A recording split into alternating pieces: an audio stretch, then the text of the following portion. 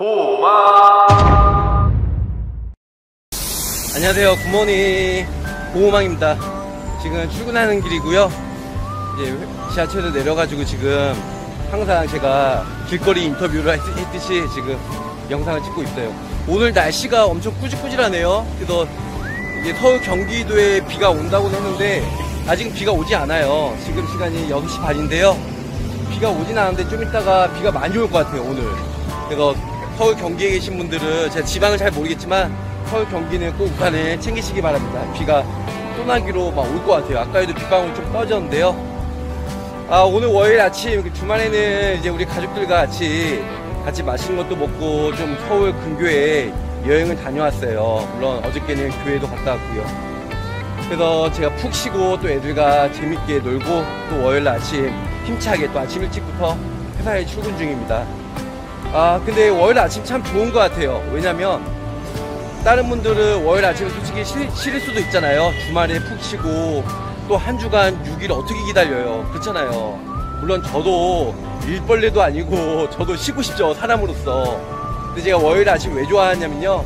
요즘에 제- 제가 항상 말씀드렸다시피 요즘 일도 많이 들어오고요. 또 보험 문의도 많이 들어와요. 그리고 또 저를 믿고 보호망을 믿고 많은 분들이 입사를 하겠다고 연락을 주셔가지고요. 너무나도 감사하죠. 제가 3년 전에 이제 본부 하나 배출하고 최근에 7월 초에 두 개를 본부로 배출했어요.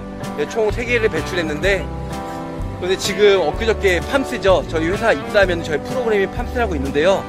입사했는데 보니까 직하 인원이 24명밖에 없더라고요. 그래서 아 예전에는 진짜 100명이 넘어갔는데 이거 100명 또 어떻게 채우나 아, 다, 다시 저희는 본부장이니까 본부 배출도 해야 되고, 영업도 해야 되고, 또 DB도 항상 만들려고 머리를 짜매야 되는데, 쥐어 짜야 되는데, 아, 24명인데 앞이 캄캄하더라고요.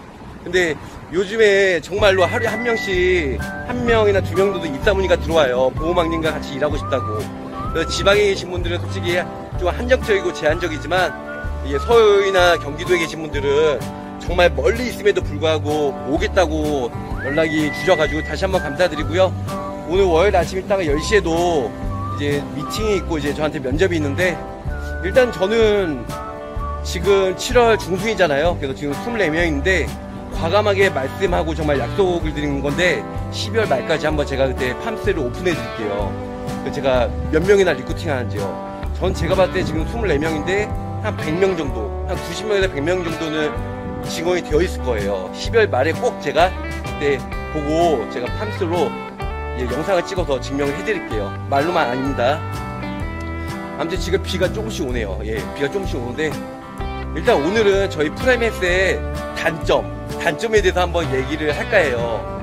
많은 분들이 이제 GA나 원수사나 신입 설계사나 아니면 경력 설계사가 오면 무슨 말 먼저 하죠? 본인 회사의 달콤한 얘기를 먼저 하고 비전에 대해서 얘기해요. 물론 회사 비전 좋죠. 그런데 과연 완벽한 회사가 있을까요? 제가 봤을 때 완벽한 회사는 없어요. 저희 프라임에셋에 또 장점이 있는가 하면 단점도 많아요. 저희 회사의 단점이라고 하면요. 이렇게 얘기하면 회사 보는 사람들이 싫어할 수도 있는데 그래도 단점보다는 장점이 많으니까 단점도 알아야 될 것 같아요. 일단 저희 회사의 단점은 첫 번째는 리스크 관리가 되게 타이트해요. 물론 리스크 관리가 타이트하다는 거 회사가 자체적으로 금융감독원 제재를 안 받고 자체적으로 준법 감시팀이 있어서 회사의 규정에 어긋난 부분들 그리고 뭐 보험 영업을 하면서 위배되는 내용들을 회사가 따로 감시를 한다는 거죠. 또한 선지급 보험회사가 가- 영업을 하고 FC들이 영업을 하고 선지급이 나갈 때 그런 리스크 자체가 좀 타이트해요. 그래서 이제 법인 영업이나 아니면 컨센 영업 아니면 이제 고액 계약 생명보험 하신 분들은 솔직히 좀 이렇게 선지급 받기가 그게 쉽지는 않아요. 왜냐하면 리스, 리스크 관리를 타이트하게 하니까요. 그런데 반면에 리스크 관리를 타이트 하다 보니까 회사의 안정성도 있고요. 회사가 리스크 관리를 하는 부분들은 다 이유가 있더라고요. 그런 분들 꼭 나중에 유지율도 안 좋고요. 또 이게 금방 깨지더라고요. 그래서 리스크 관리가 타이트하긴 한데 반면에 회사가 안정적으로 운영이 된다. 그런 부분에서 말씀을 드리고 싶고요. 또 하나는 120% 환수 제도가 있어요. 120% 환수 제도는 이제 다른 회사 같은 경우는 선지급을 받든 아니면은 영업을 해서 그 다음 달에 계약을 받았, 수주를 받았어요. 그러면은 3차월 미만 시에 해지를 해도 보험에 계약자가 해지라던가, 해지라던가 민원을 해도 냈던, 예, 받았던 커미션만, 수수료만 다시 토해내는 건데 저희 회사는 3차월 미만 시에는 이제 페널티가 있어요. 그래서 1차원 1개월 때뭐 실효나 해지가 됐다. 그러면 120% 환수하고요. 2차월 때는 110%, 3차월 때는 100%. 이제 순차적으로 회차별로 저희가 환수 적용을 해요. 그래서 그런 부분들이 좀 저희도 관리자 입장에서 대표님이랑 많이 얘기는 하는데 그럼 이제 좀 어떻게 보면 단점이죠. 타 회사는 3차월 미만 시 해제도 100%인데 저희는 120%니까. 근데 그런 부분들이 또 다, 다르게 얘기하면 3차월 미만 시에 해약, 해약이나 아니면 유지가 안 좋으면 그건 불안전 판매한 거죠. 물론 고객 입장에서 진짜 피치 못한 사정으로 해지할 수도 있죠. 그래서 제가 봤을 때는 그런 페널티는 그렇게 나쁘지 않는 것 같아요. 뭐 여러 가지가 있어요. 관리자 입장에서는 이제 수수료 18차월 넘으면 손해보험 기준으로요. 거의 뭐 시차까지 다 받고 나서 사회사 같은 경우는 관리자가 수금 수수료가 나오거든요. 1% 정도. 이제 보험을 유지할 때까지. 근데 저희는 유지 수수료도 수금 수수료가 없다는 거죠. 뭐 그런 부분도 있고 이제 투명 이제 회사가 투명하긴 하지만 여러 가지 페널티도 많아요. 그래서 입사하시면은 단점도 단점도 진짜 많아요. 근데 제가 봤을 땐 그래요. 좀 전에 말씀드렸다시피 단점보다는 장점이 많은 회사예요. 저도 이 회사를 입사했을 적에 49%가 단점이고 51%가 장점이라고 하면 저는 51%를 선택하겠어요. 왜냐? 장점을 단점을 커버하면 되니까요. 단점 타회사 같은 경우는 장점만 얘기하고 단점은 이제 예- 거의 얘기 안 하잖아요. 그래서 입사하고 왜 단점을 얘기 안 하냐 보니까 단점이 더 많은 거예요.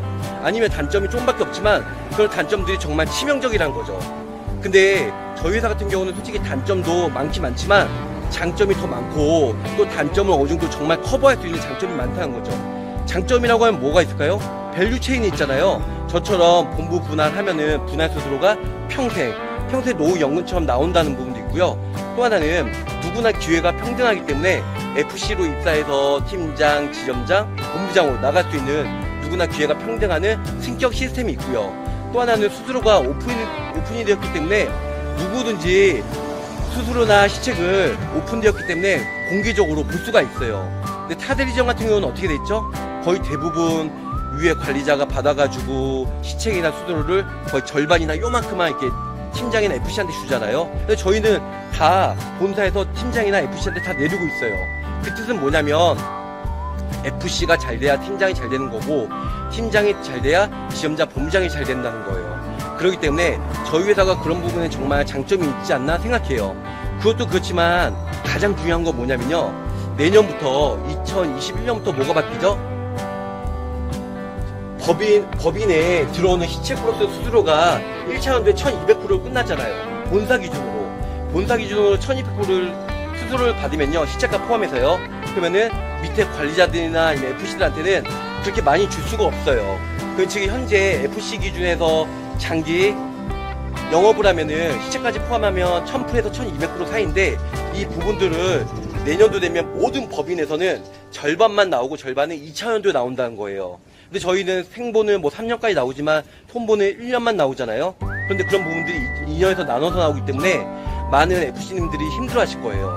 근데 저는 이제 확정된 건 아니지만 제가 또 자문위원이잖아요. 그래서 저희 대표님들이랑 저희 대표님하고 제가 미팅을 가지면은 이제 다음 달에 어느 정도 이제 그 초안이 나올 거예요. 그래서 대표님도 저희 자문위원이랑 약속을 했거든요. 그래서 그건데 제가 정확하게 발표가 되면 제가 유튜브에 다시 한번 공개해드리도록 할게요. 근데 대략적으로 정확한 건 아니지만 대략적으로 말씀드리면 저희 회사는 내년도에 되면 2021년 되면 많은 법이 그리고 많은 원수에서 저희로 넘어올 거예요. 이건 정말 확실합니다. 왜냐? 수수료가 투명하고요. 타 회사보다 분명히 수수료를 많이 줄 거예요. 1차 년도에. 그건 제가 확실하게 말씀드릴 수 있고요.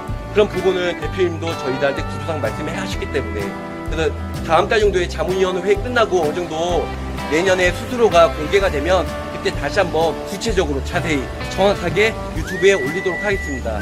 자, 오늘 월요일 아침인데 제가 너무 두없이 말을 많이 했네요. 일단은 오늘 한 주간도 좋은 하루 되시고요. 보험 문의나 아니면 입사 문의 주시면 저 보험한테 연락 주시면 제가 언제든지 상담해드리고 서울 경기도 지역은 제가 달려가서 한번 상담을 드리도록 하겠습니다. 자 아직까지 좋아요 구독 안 하셨으면 꼭 하시, 해주시고요. 이번 주 한 주간도 잘 보내주시고 좋은 일들만 행복하시고 보험은 항상 보험왕에게 아시죠? 감사합니다.